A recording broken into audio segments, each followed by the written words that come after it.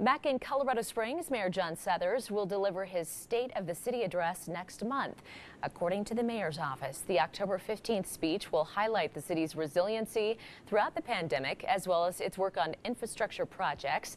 The mayor will speak live from the Broadmoor. You can catch it live on Facebook starting at 11:30. You can also find it by looking up City of Colorado Springs.